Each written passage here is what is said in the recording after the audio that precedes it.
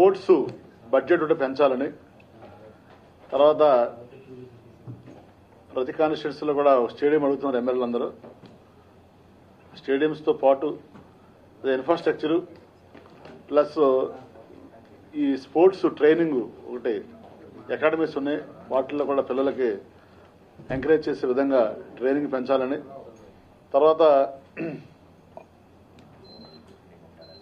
ఒక గచ్చిబౌలి లాంటి స్టేడియం ఒకటి.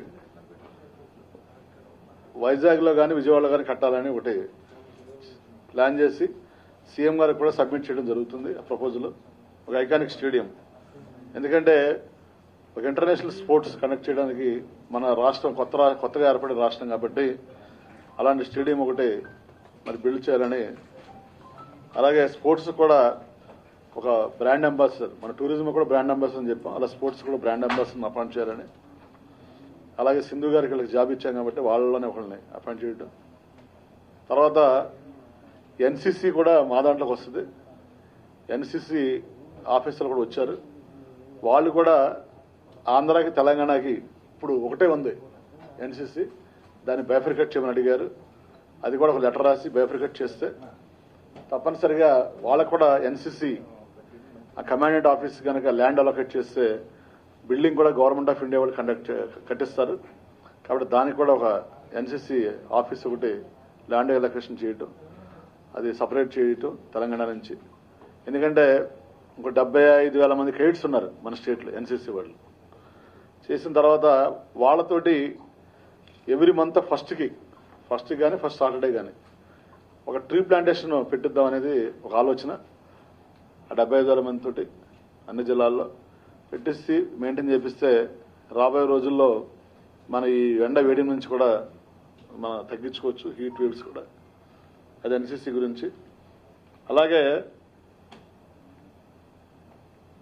ఈ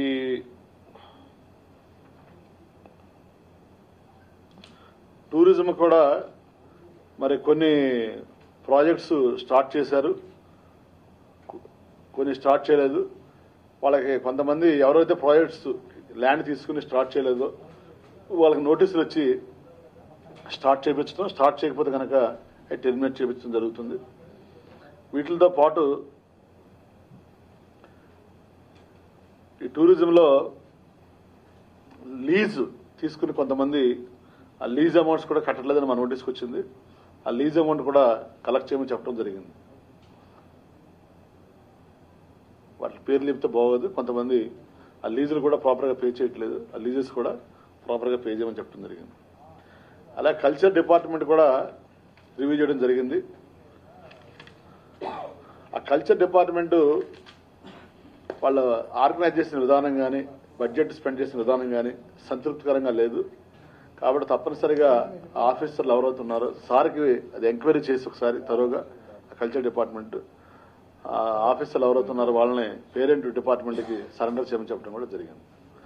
కాబట్టి తప్పనిసరిగా ప్రభుత్వ పాలసీ ఏంటంటే పనిచేసే అధికారులని ప్రోత్సహిస్తాం. పనిచేయని వాళ్ళని ఎట్టి పరిస్థితుల్లో కూడా ఉపేక్షించమని తెలియజేసుకుంటూ రాబోయే రోజుల్లో టూరిజం కానీ కల్చర్ కానీ స్పోర్ట్స్ కానీ ఈ మూడు ప్లస్ వీటితో పాటు యూత్ అఫైర్స్ ఈ నాలుగు కూడా మరి బాగా అభివృద్ధి చేసి ప్రజలకు అందరికీ కూడా అందుబాటులో ఉండే విధంగా అన్ని వర్గాల ప్రజలకి చేసి దీంట్లో స్పోర్ట్స్లో మీకు తెలుసు చాలా పాలిటిక్స్ ఉంటాయి. కాకుండా అలాంటి ఎలాంటి పాలిటిక్స్ లేకుండా ఓన్లీ టాలెంట్ని ఎంకరేజ్ చేసే విధంగా మరి విధి విధానాలు రూపొందించాలని చెప్పడం జరిగింది. తప్పనిసరిగా ఇన్ఫ్రాస్ట్రక్చర్ కానీ ఈ టాలెంట్ హంట్ చేయటం కానీ మూడోది ఈ అకాడమీ ద్వారా వాళ్ళకి మంచి శిక్షణ ఇప్పించడం కానీ చేయమని చెప్పడం జరిగింది. అలాగే కనీసం నెలకి ఒకటో రోజన్న ఒక్కొక్క జిల్లాలో ఒక ఈవెంట్ స్పోర్ట్స్ ఈవెంట్ ఆర్గనైజ్ చేయమని చెప్పడం జరిగింది. దాని ద్వారా పిల్లల్లో కానీ పేరెంట్స్ కానీ కొంచెం ఇన్స్పిరేషన్ వస్తుంది. అలాగే ఇప్పుడు ఎడ్యుకేషన్ ఇన్స్టిట్యూషన్స్లో టూ పర్సెంట్ ఇస్తున్నారు స్పోర్ట్స్ కోట అన్ని ఇంజనీరింగ్ సీట్స్ అన్ని. మెడిసిన్లో మాత్రం పాయింట్ ఫైవ్ పర్సెంట్ ఇస్తున్నారంట. అది కూడా టూ పర్సెంట్ చేయాలని సీఎం గారిని కోరటం జరుగుతుంది. Okay? Zero point five percent ఇస్తున్నారు ఇప్పుడు. అది కూడా టూ పర్సెంట్ చేయాలని కోరటం జరుగుతుంది. మిగిలినన్నీ టూ పర్సెంట్ ఉన్నాయి. ఇంజనీరింగ్ కానీ డిగ్రీ కానీ ఇవన్నీ కూడా.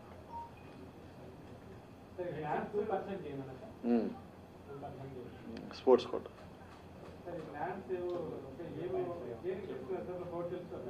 లీజుకి టూరిజం ప్రాజెక్ట్స్ తీసుకుని కొన్ని కొంతమంది స్టార్ట్ చేశారు. కొన్ని ఆపరేషన్లు ఉన్నాయి కొన్ని ఏమో ఆపరేషన్లు స్టార్ట్ చేయని వాటికి నోటీస్ ఇచ్చి టెర్మినేట్ చేయమని చెప్పారు. అది లిస్ట్ ఇస్తాం తర్వాత డీటెయిల్గా ఉంది. వాళ్ళకి ముందే మనం శిష్యులు బాగోదు కదా అసలు వాళ్ళకి కొంచెం వాళ్ళకి నోటీస్ ఇచ్చి సఫిషియెంట్. సఫిషియెంట్. ఒక త్రీ మంత్స్ నోటీస్ ఇచ్చి స్టార్ట్ చేయకపోతే అప్పుడు టెర్మినేషన్. ఓకేనా?